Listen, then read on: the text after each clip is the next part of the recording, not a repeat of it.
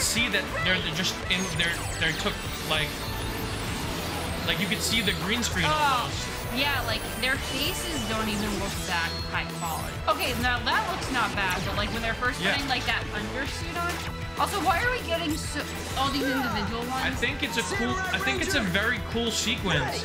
It's just way too long. Here's the problem.